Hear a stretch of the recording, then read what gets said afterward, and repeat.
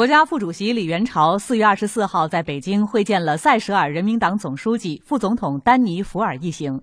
李元朝说，中塞有着特殊友好关系，中国愿秉承真实亲诚方针，与塞舌尔加强海洋经济、基础设施、人文等领域合作，实现互利共赢、共同发展。